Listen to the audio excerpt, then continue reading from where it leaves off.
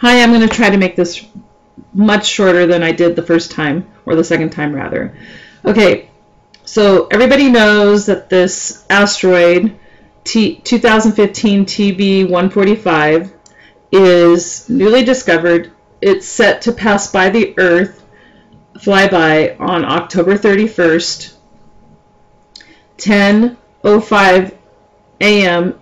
Pacific Coast and 1:05 p.m. Eastern Coast time. Okay, on October 31. So my time it'll be 10:05 in the morning. Alrighty. So even if this asteroid is only going to be 1.3 lunar distances away from the Earth at this flyby, it doesn't mean that it won't get thrown off its course by running into another object, as we'll see in a short moment, or that a piece of it won't get broken off, as they believe was the case with the Russian Chelyabinsk um, meteor that hit in February 2013, which I'll show you a news article for that in a moment. So this is a JPL NASA's site, and this is their article that they just published a couple days ago, or actually a day ago, about they're nicknaming it the Great Pumpkin because it's coming by on Halloween morning.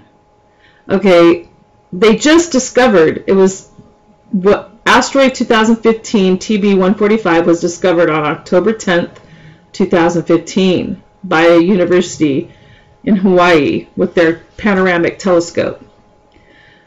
So one thing I want to point out is it's very interesting to me that it was just discovered October 10th and it's coming it's flying by October 21st.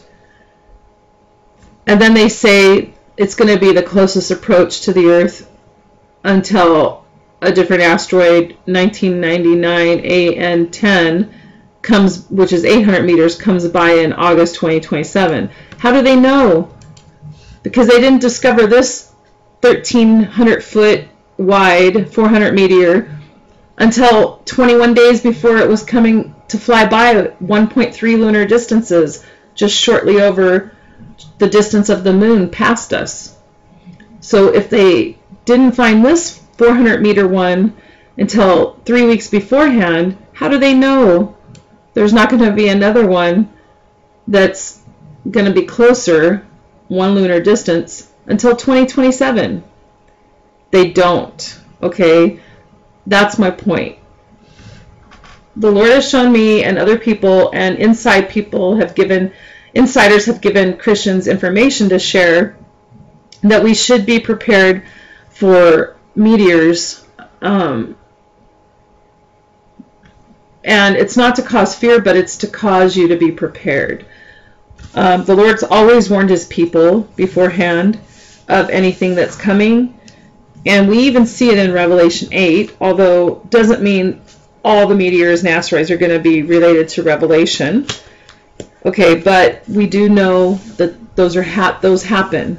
If we've seen smaller ones impact us that weren't detected until the last minute. So I'm going to look at that in a moment. However, I just wanted to share how how this, you know, we all know that this is a fact and it's coming.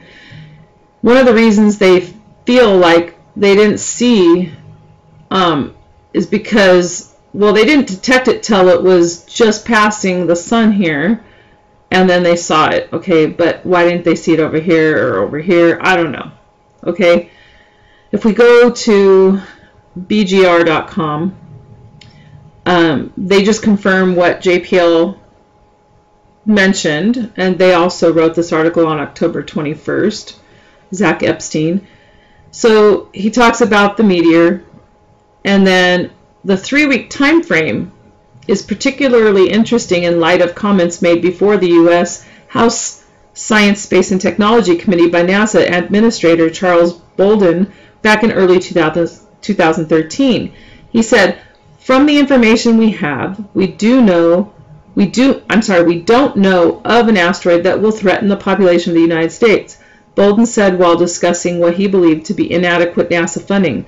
But if it if it's coming in three weeks, pray. So he's just saying you know, we can't detect all of them, but if it's coming in a short time, pray. Okay. sort of ironic they found this one three weeks beforehand. However, it just shows you, it says that NASA noted that the next time an asteroid this large is set to pass Earth isn't until 2027. Of course, that doesn't account for discoveries made just weeks before a flyby. Exactly. So that's my point. They say one thing, but they don't know. They don't know. Okay. In this, um, I'm sorry. I think it's this article. No, no, no, no, no. There's another article. Sorry. Let me pause. Hi, it was this article. NASA maps dangerous asteroids that may threaten Earth. So if you go to JPL, um, this is from JPL NASA website, and you can view the full-size image. I'll leave a link here. You can see the Sun, Mars, Venus, Mercury, and Earth, and just look at all these near-Earth objects, 1,400 potential, potentially hazardous asteroids, PHAs, that are out there Okay, and this was taken in 2013. Of course, the yeah, it changes, but most of them are on a on a projected course. All right, if you go down to the end of this, just read through this article later. It's interesting. If you go down to the bottom, it it tells you. Let's see, NASA. NASA scientists and astronomers around the world are constantly searching for asteroids that may pose an impact threat to Earth. NASA has said that roughly 95% of the largest asteroids that could endanger Earth, space rocks at least one kilometer wide or 0.6 miles, a half, a little over a half a mile, have been identified through these surveys. Okay, roughly 95% of these large asteroids have been discovered. 5% have not. Okay, so this just tells you that they don't know all of the ones that could put, be a ha potential hazard. All right? And we know that this one was just discovered 21 days, three weeks before it's set to pass by us closely. Now, another thing so not only do they find some at the last minute, 5% of them haven't been discovered, so there's still 5% of that 1400 out there, whatever that number is, that can pose a threat that we don't know about, that could be on a projected path, as well as the ones that break off from the larger ones. They've done, um, this is May 2014, they've done research on the Chelyabinsk, Russia, meteor that was only 20 meter 20 meters wide that impacted February 15, 2013. And they discovered that this meteor was actually, um, it had actually most likely been a piece of a larger asteroid that broke off. Um, let's see, it says Analysis of recovered Chelyabinsk meteorites revealed an unusual form of jadeite entombed inside glassy materials known as shock veins, which form after rock crashes, melts, and re-solidifies. Jadeite, which is one of the minerals in the gemstone jade, forms only under extreme pressure and high temperatures. This form of jadeite found in the Chelyabinsk meteorites indicates the asteroid's parent body hit another asteroid that was at least 150 meters in diameter.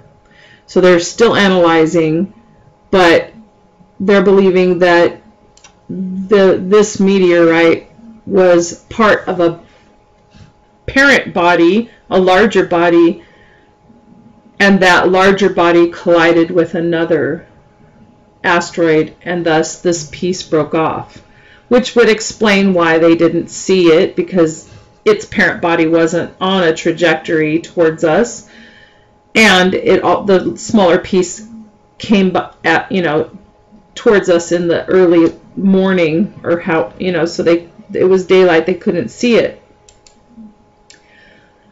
Um, this one talks also about that And it's interesting because it says a tiny asteroid actually hit Earth, creating a significant explosion over eastern Russia about 9:30 a.m. on February 15. And we know that less than 24 hours later, so within that day, a larger asteroid, 2012 DA14, passed safely above Earth at a distance of around 17,200 miles, which is a lot closer than a lunar distance. It's with, you know, it's only 17,000 miles above the Earth's surface. The closest an object of that size has come to our planet since scientists began monitoring the skies. So astronomers have been tracking the asteroid for about a year and knew it posed no danger of colliding with the Earth. However, possibly 2012 DA14, the piece of that was the Chelyabinsk meteor. Okay, because this came in and then within 24 hours, you know, within that day, 2012 DA14 passed by.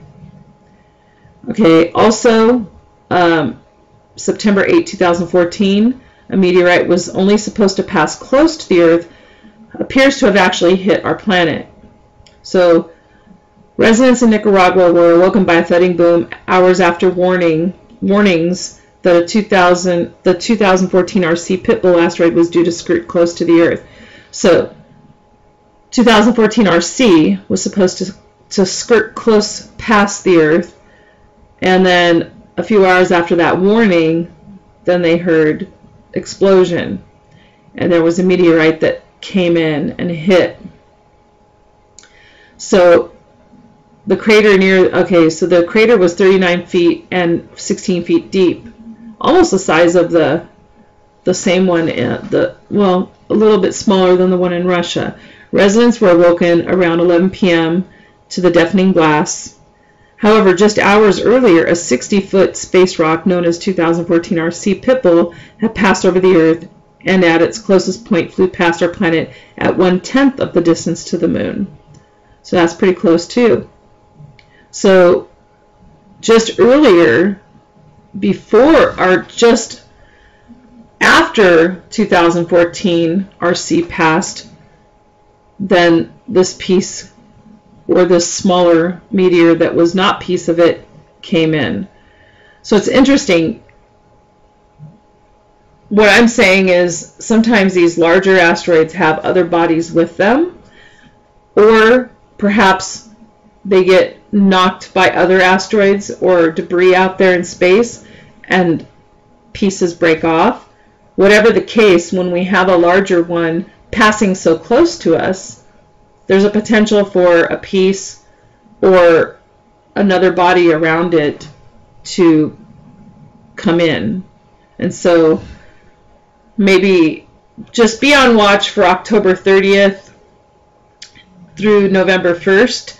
You know, the day 24 hours before and after this one is supposed to come in because it could have other smaller meteorites uh, flying with it that break off, you know, from its orbit, or this asteroid could actually be hit by another and cause a piece to break off.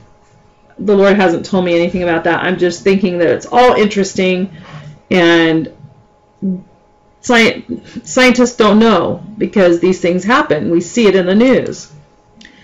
Okay, and then in Iran in July, July 30th, there Iran confirms meteor hit, and so in the northern provinces, um, it land the meteor landed in Avaj in the province of Qazvin. Okay, but then there were other reports of pieces of rock that hit other areas. So we have one, two, three, three other areas where pieces of rock hit. Okay, so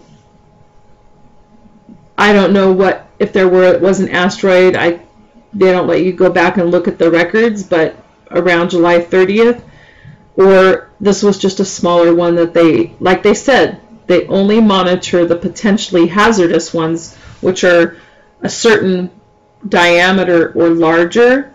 And even with those, they only have confirmed or found 95% so they leave room for error. They know that they can't find 100% of them, as we saw in their news article.